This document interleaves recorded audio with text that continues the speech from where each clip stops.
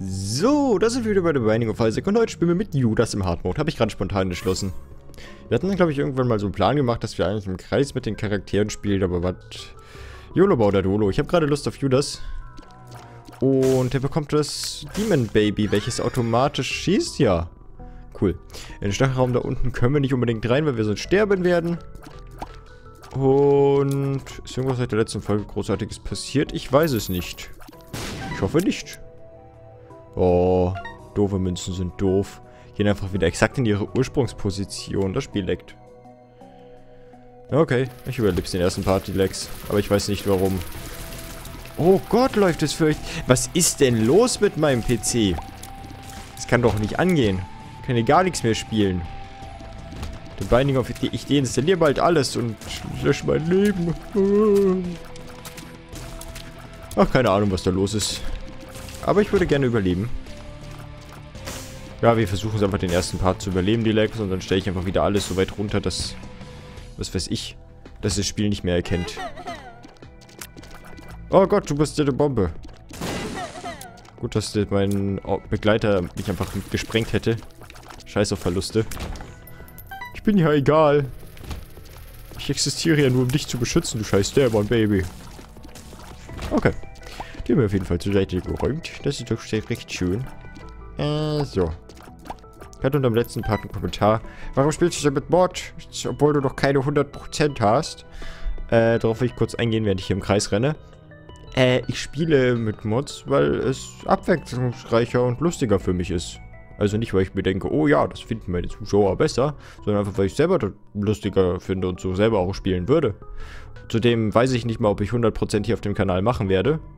Weil bis 100% dauert das einiges und ich müsste eigentlich auch Offscreen-Zeug machen. Weil ich bestimmte halt Sachen zusammenbekommen muss.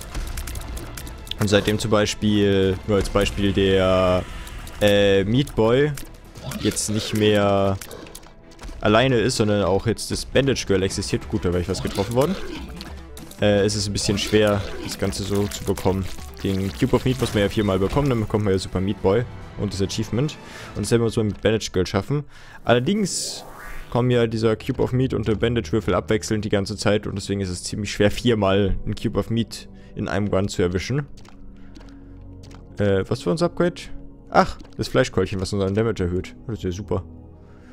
Das ist ja super, wuper. Wir haben eigentlich ein Herz zu bekommen. Wir können uns erlauben, jetzt in den Stachelraum zu gehen. Auf die Gefahr hin, dass wir dort drin sterben. Falls irgendwas Böses da auf uns wartet, aber egal. Wir sind Judas. Und wir spielen im Hard Mode, muss ich übrigens nochmal anmerken, weil hier überall Herzen liegen.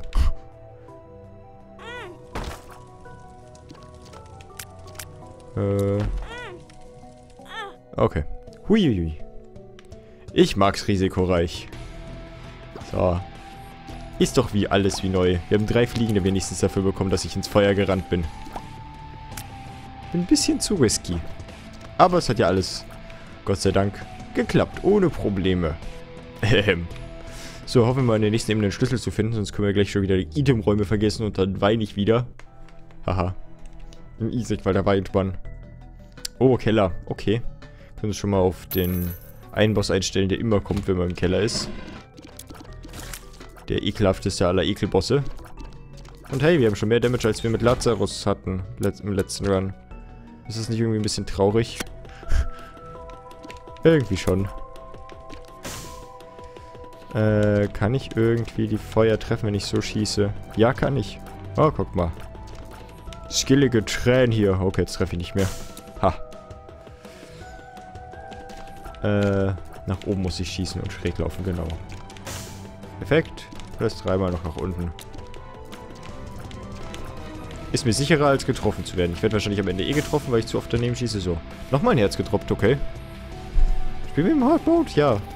Ja, da ist Blut auf dem Blatt. Ich habe mich nur gefragt, weil, keine Ahnung. Ich sag, es steht ja nicht umsonst da weniger Herzen. Dieser kleine Autoturret-Begleiter ist ziemlich cool gegen diese ganzen Spiele, muss ich sagen.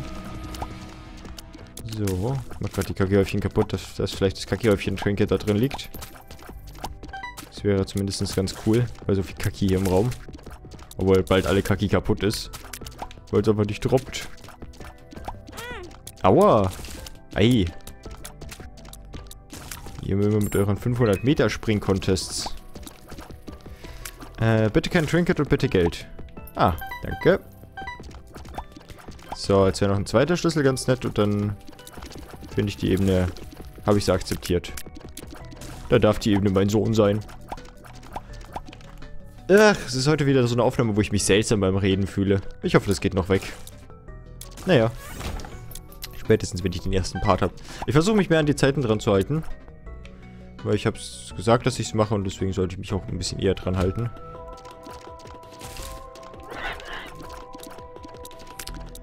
Oh Gott.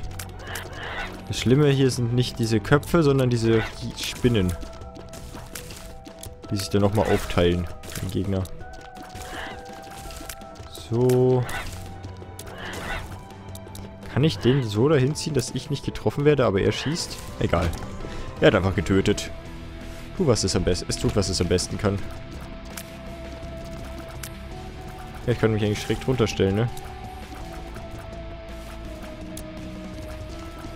Töte es. Ja. Schauen wir nur zu. Keine Bombe bisher. Und auch kein richtiger Schlüssel ist nach dem Raum gedroppt. Nur einer aus dem Gegner. Das Spiel hat mich ja heute mal wieder besonders lieb. Aber wir weinen einfach zurück. Haha. Wehren uns mit unseren Tränen. Stimmt. Guck mal, das sind nur die fetten Versionen von denen, die uns gerade hinterhergelaufen sind. Mensch, macht sich das Spiel auch noch über Dicke lustig. Ah, ein Schnitzel. Dann könnte ich in, in den Chevrolet gucken, weil wir genug Geld haben. Vielleicht gibt es da eine Bombe, dann kriegen wir noch mehr Geld. Puh, gut, dass sie nicht von Anfang an ausgefahren sind. Holy, die Stopwatch. Woher fehlt uns ein halbes Herz Schaden? Was hat uns getan? Ach, keine Ahnung, Stopwatch. Alles andere egal. Stopwatch. Ich hätte die Bombe kaufen sollen. Ich habe die Bombe nicht gesehen. Beziehungsweise habe ich die Bombe erst beachtet in der Sekunde, als ich, ja, doof war. Gut. Hoffen wir einfach auf den Bombendrop. Holy fuck, ich würde gerne meinen Damage Up aktivieren. Aber das darf ich ja nicht. Okay. Wir schaffen es schon irgendwie. Nur die fette Rote darf uns nicht treffen. Gut. Droppt jetzt im äh, Hard Mode Herzen bei solchen fetten roten Gegnern, weil jetzt ist hier wieder ein Herz gedroppt. Aber sonst ist immer nie ein Herz gedroppt. Ach, ich verstehe es doch nicht. Oh, wir haben das Herz aufgesammelt. Stimmt, uns fehlt hier ein halbes. Ups. Egal. Wir werden schon nicht allzu viel Schaden gleich kriegen. Gleich nach dem Bosskampf. Oh Gott, warum habe ich das Herz aufgenommen?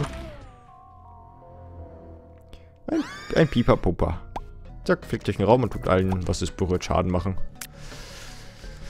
Da gehen wir nicht rein, weil wir ein Seelenherz haben, welches wir nicht verlieren möchten. Wir haben keine Bombe bekommen. Und dort unten ist äh, für einen Schlüssel ein Büchereiladen, welchen wir auch nicht benötigen, eigentlich. Ich bin mal so arrogant und gehe da nicht rein. Und gehe einfach Richtung Boss. Ja. Vielleicht können wir fliegen. Der, ha der Haunty. Wer hätte ihn erwartet? Ich bestimmt nicht. Habe ja nicht zu Ebene gesagt, ach, jetzt wissen wir eh schon, wer uns erwartet. Nee, nee. Der Haunty kommt immer. Was? Der Körper von dir kann mich berühren in der Ge Hä? Der ist doch in der Geistergestalt. Was ist denn bitte eine Geistergestalt, wenn er mich dabei berühren kann? Und warum machst du denn selbst da schon einen Herzschaden? Was bist du für ein Stück Scheiße? Ich hasse dich. Aber ich hasse andere Bombe mehr. Bosse. Bombe. Einfach. Oh. Pillen. Schauen uns gleich an. So, wir könnten unser ganzes, unsere ganze Existenz aufopfern dafür, dass wir dann Moms Life dabei hätten. Was ziemlich dumm ist. Oder Gonzos Kopf nehmen, um Fliegen zu spawnen, was auch ziemlich dumm ist. Leider. Ich würde es so gerne mitnehmen. Äh, kurz eine Sache, ich habe heute erfahren, dass es bei Rebirth andersherum ist wie beim klassischen Isaac. Beim klassischen Isaac war es so, wenn du ein Special Item mitgenommen hast, äh, war deine Chance sehr gering, ein weiteres Special Item zu finden. Es sind bestimmte Items als Special Item getaggt, darunter Mom Snipe, was hier gerade liegt. Wenn man in Rebirth allerdings Special Items mitnimmt, dann hat man eine höhere Chance auf weitere Special Items zu treffen. Ist genau andersherum als beim Classic Isaac. Wahrscheinlich, dass man halt belohnt wird, diese mitzunehmen. Also verringern wir jetzt, wenn wir rausgehen, unsere Chance auf weitere Special Items. Range down. Full Health. Luck Up. Und iPhone Pilz. Keine Bombe. Keine Schlüssel. Wir haben noch ein Herz. Wir können jetzt in den Stachelraum gehen. Wenigstens etwas. Äh. Ja, Judas hat halt so wenig Leben, dass man sich solche Devil Deeds eigentlich so früh nicht unbedingt leisten kann. Vielleicht hätten wir gar nicht erst reingucken sollen. Ich weiß es nicht.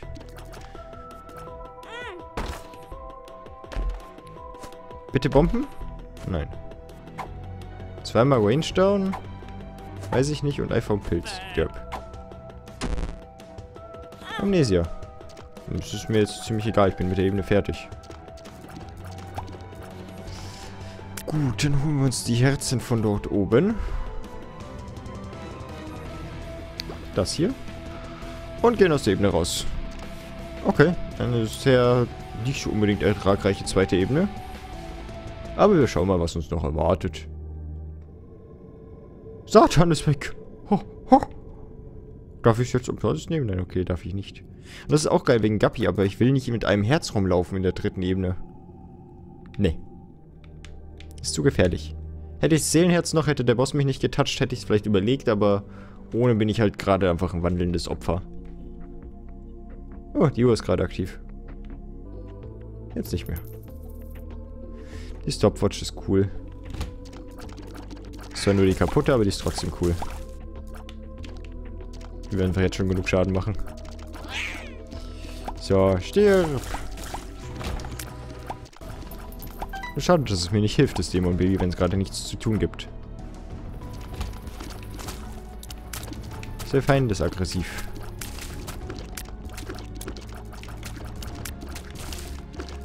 Ja, äh, da wäre es perfekt, wenn du explodierst. Nein, nein, nein, nein.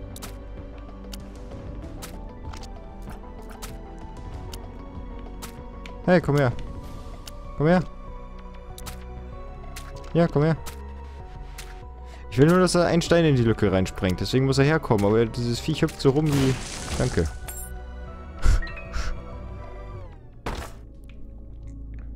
äh, wir öffnen erst und dann... Oh Gott, ich stehe in dem Gegner drin. Ah, wir haben Slow-Effekt sogar zusätzlich noch bekommen. Ah, das wird ja schön. Das wird einfach mit dem Ausweichen. Hoffe ich. Ah, ich liebe diesen Slow-Effekt. Wunderbar. Weiter geht's. Vielleicht brauchen wir im Hardwood in den ersten Ebenen mehr äh, Herzen. Kann ich mir auch vorstellen. So, mit der Bombe komme ich gut dann. Jo. Das ist schön. Den Flat Penny nehmen wir mit, natürlich. Äh, die Körper hätte ich am liebsten zuerst kaputt, aber es ist auch mir recht, wenn alles andere anders auch stirbt. So, weil die Körper spritzen ein bisschen weit. spritzen. Oh mein Gott! Warum habe ich mit Judas so ein Item-Glück? Heilige! Unser Damage ist jetzt schon göttlich. Und wir haben einfach die Story... Hä? Weil es eins der Items hätte mir ja im letzten Run schon gereicht, die ich jetzt schon fünf habe. Aber nö, nö. Kircher Z ist einfach so ein gutes Item. Das bekomme ich einfach so früh. Und dann habe ich das Book of... Alter. Ein bisschen mehr ausgeglichenes Glück wäre gut. Jetzt rege ich mich auf schon, wenn ich gute Items bekomme. Ja, aber... Itten dat. Ich schieße ja fast schon Polyphemus-Schüsse, so groß sind die. Da, mein Damage ist einfach fast voll. Ach so, wenn ich Münzen aufsammle, können ja jetzt Schlüssel kommen. Ah, oh, das ist super. Habe ich wenigstens kein Schlüsselproblem mehr. So, wir können ja auch gleich in den Shop noch gucken, wenn wir wollen. Hm, die werden mich ein paar Mal treffen. Oh, erstaunlicherweise nicht mal. So, noch ein Schlüssel. Den Boss könnten wir angehen. Ja, machen wir mal. Wir haben Book of Bilder, zwei Herzen und sind imbar. Pestilenz. Sehr schön. Den kriegt man einfach kaputt. Ja, den kriegt man echt einfach kaputt. Heilige. Äh, ich könnte dafür sorgen, dass er den Stein unten rechts kaputt macht, aber ich bin, glaube ich, gerade dafür, einfach selber den wegzusprengen. Jetzt kriegen wir auch noch einen heiligen Raum. Wahrscheinlich ist da jetzt ein Sacred Heart drin oder sowas. Ein Halo. All stats up. Heilige. Ja, so wurde die Geschichte, wie Judas zum Heiligen wurde. Ich würde die Feuerflammen gerne sprengen, aber nee. Ah, durch den Halo haben wir ja nochmal einen Health abbekommen. Ist ja auch super. Jetzt müssen wir nur noch fliegen können. I believe I could fly. Dann laufe ich auch nicht mehr in die Stacheln rein. Oder so, so, so oder so überall reinlaufen. Habe ich den blauen Stein jetzt kaputt gemacht oder war ich... Ich schaue am Ende nochmal. Ich heb mir eine Bombe auf jeden Fall auf. Ich versuch's. Alter, ein Schuss einfach? Okay. Die brauchen mehr. Aber der nur ein. Sehr schön. Habe ich alle? Ja, habe ich. So, eine Münze mehr und ich könnte mir ein Seelenherz holen. Das wäre sehr wichtig. Sogar. Sogar. Äh, dann gehen wir erst in den Raum da unten rein. Und dann da oben. Was ist da oben? Nochmal die Bibliothek. Ja, aber ich brauche nichts wirklich. Necronomicon hat sechs Räume, ne? Ja, das lohnt sich nicht. Mit How to Jump komme ich doch an Zeug ran, oder? Wenn ich das ein bisschen missbrauche.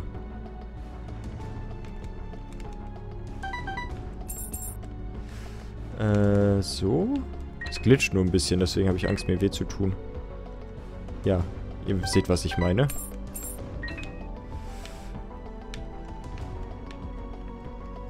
Ach, Spiel. Ja, danke. How to Jump kann ich mir echt so noch ein paar Kleinigkeiten snacken auf der Ebene, wo ich nur mit Fliegen rankommen würde. ist cool. Kann ich mir vielleicht die Bombe da unten auch noch holen? Haben wir Curse of the Maze oder sagen gerade zwei Räume exakt gleich aus? Nur so ein bisschen Anlaufschwung holen. Ja. Es hat sich ja sogar gelohnt, dann den Raum zu öffnen. Haben wir auch genug Schlüssel dadurch wieder rausgekriegt. Ah, wir haben Curse of the Maze. So. Dankeschön, liebes How to Jump Buch. Hast mir sogar noch geholfen. Das ist beides ja, ganz nett. So. Dann will ich jetzt nochmal in den Shop gucken. Der wo war? Ach, unten. Ganz unten. Okay. Aufpassen wegen Stacheln, Herr Zimbelmann. Dort laufen sie ja immer rein.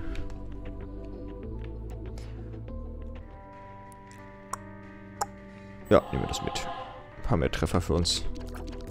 Einfach solche Megatränen das Spiel. Ist fast so, als wären manchmal absichtlich Runs schlecht, dass man bloß einen neuen Run startet. Und dann wird man mit ganz viel Zeug beschenkt. Ja, danke, setz mich nur fünf Räume zurück. äh, scheiß auf die zwei Münzen. Habe ich kaputt gemacht, okay.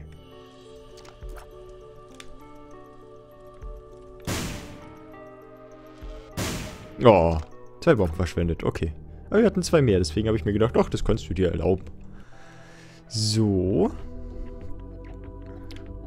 Da komme ich nicht rein. Alles in Zeitlupe. Die Schüsse auch überhaupt nicht bis zum Ende vom Raum fliegen. So. Zack, zack, zack. Alles kaputt geweint. Oh, ein Boss. Oh nein. Tschüss, Boss. Empress. May Rage bring you power. Keine Ahnung, welches der beiden das ist.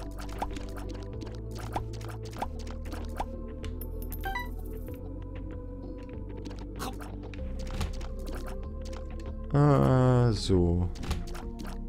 Hallo, Gehirngesicht. Hallo, halbes Herz. Ich hätte gerne noch den Goldraum, bevor ich den Part beende. Ihr seht eh an der Videolänge, dass das Video bald vorbei ist. Sage ich jetzt und dann ist der Part wieder 10 Stunden lang, weil ich vergessen habe, auch den Part zu beenden und einfach nur Isaac den ganzen Tag spielen. Dem konnte ich nicht ausweichen. Aber ich bin, glaube ich, in den richtigen Gegner reingelaufen, der nur ein halbes Herz abgezogen hat. Holy fuckeroni. Das sind viele Madis. Okay. Ah, der ist Options. Holen wir uns auch im nächsten Part. Aber, also wenn wir Geld haben, fehlt hier noch ein bisschen was. So.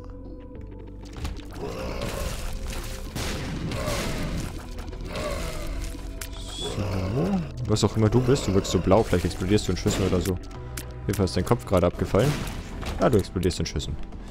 Den brauchen wir nicht. Ach komm, nur schnell den Goldraum. Nur noch den goldenen Raum. Oh Gott, das war knapp. Eine Pille, die ich nicht kenne. Und Judgment. Kann ich mir noch mal ein bisschen Glücksspiel machen gleich. So. Was ist hier los mit der Ebene? Die hört nicht auf. Und im Raum Kisten und so ein Shit. Äh, mir hat in den Kommentaren jemand geschrieben, dass Lack nicht mehr die Automaten beeinflusst, sondern äh, jetzt ob nach dem Raum Items droppen oder nicht. Aber es droppen sind so viele Items gedroppt, dass ich gerade mal nachgucken musste, ob ich jetzt irgendwie so einen Lackbuff habe oder so. Okay, sind alle in Stacheln gehüpft. Die Liebhaber. Oh Gott, ja. Okay, gut. Würde ich sagen, sehen wir uns beim nächsten Mal wieder bei The Binding of Isaac. Ich muss ja jetzt dunkler reden, weil ich größer bin. Ich hoffe, ihr hattet Spaß beim Zusehen und bis zum nächsten Mal. Euer Zimbel Zommelmann. Tschüss.